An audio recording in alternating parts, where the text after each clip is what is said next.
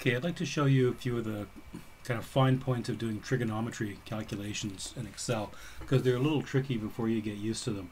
And the problem stems from the fact that Excel doesn't really have a degrees mode and a radians mode like your calculator does.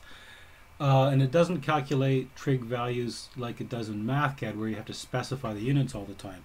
Instead, Excel assumes that you're taking um, the sine or the cosine or the tangent of an angle in radians, and it's in always in radians.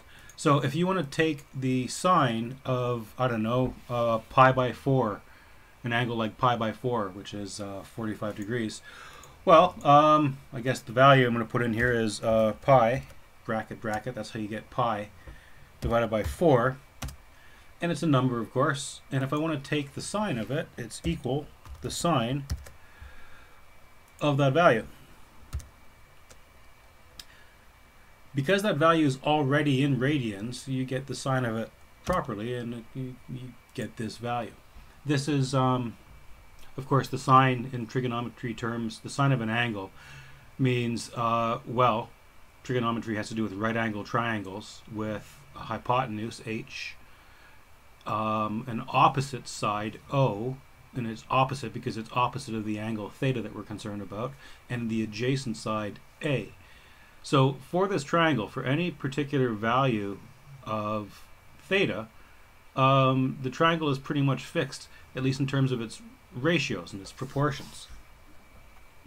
Um, so if uh, this theta, the theta here looks to be about, I don't know, 30 degrees or so. So uh, the length of the adjacent side over the length of the hypotenuse, well, that's a particular value um, for all of these triangles. That's what trigonometry is.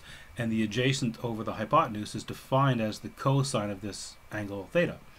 The opposite over the hypotenuse is the sine, and the opposite over the adjacent side is the tangent to this angle. Um, and then, of course, there's cosecant, cosine, and cotangent, but we won't worry about those right now. To go the other way, the arcsine, or the inverse sine, of a ratio gives you the angle back again. So if the sine of theta is O over H, the A sine of O over H gives you theta again. Again, all in radians. Whenever we're talking about theta, it's in radians. If you wanted to take the sine of 45 degrees, you can put 45 degrees in here. to take the sine of it, well, you can't just do the sine of 45 degrees and uh, and hope for the best. There's you're going to end up getting the sine of 45 radians, which isn't what you mean. So you don't want to take the sine of 45. You want to take the sine of, well, 45, but converted to radians. So let's do that. Let's take the sine of the radians of 45 degrees. The radians of 45 degrees is going to take the 45 and convert it to radians. And then it's going to take the sine of that. Notice this number and this number are the same numbers. This, this is the sine of pi by 4 radians. This is the sine of 45 degrees. But pi by 4 radians and 45 degrees, they are the same thing. So you get the same value for the sine. Remember what the sine means. It's a ratio of the opposite side over the hypotenuse when this angle here is 45 degrees or pi by 4 radians. Okay, so essentially it boils down to this. If you want to take the sine, the cosine, or the tangent of an angle, and that angle is already in radians, then you just take the sine of the angle in radians.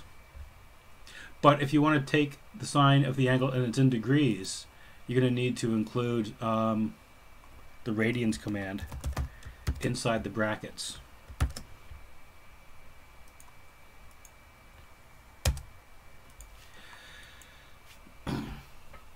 Now, if I want to take an inverse sine, an arc arcsine of this ratio, right? This ratio, that's the sine of 45 degrees. If I want to take the inverse sine again, remember inverse sine gives you the angle. So take the inverse sine, it would be the a sine of this number, right? This number, this is the ratio. This is the sine of 45 degrees. If I take the a sine of it, I should get the angle back again. And I do. This is the angle in radians. It's that same angle. If I want the results of this calculation to give me the angle in degrees, not radians, then what I've got to do is convert that to degrees. So I take the degrees of the arc sine of that ratio, and I get my 45 degrees back again. Okay, so um, when you're taking an arc sine or an arc cos or an arc tan, very often this is what you want. Take the degrees of the arc sine or the arc cos or the arc tan, and then you get your answer, which is an angle in degrees.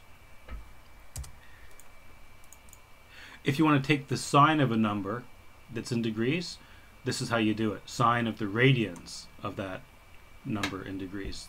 This radians command converts the degrees to radians, and then you take the sine or the cosine or the tan. Okay? I hope this helps a little bit. It is a little confusing. It's a little difficult. Uh, the other thing is be careful about pi whenever you need pi in Excel. It's sort of a function, which is why it has brackets, but with no argument, nothing inside the brackets. So when you're doing calculations, never type, you know, if you want to calculate pi by 4, don't type 3.14159 or some numerical approximation of pi. Don't do that do this. Take pi, bracket, bracket, by 4. Do it this way. You notice the numbers are almost the same number. This one's rounded off to, I guess, uh, five decimal places. This one isn't, essentially. Uh, I hope that helps.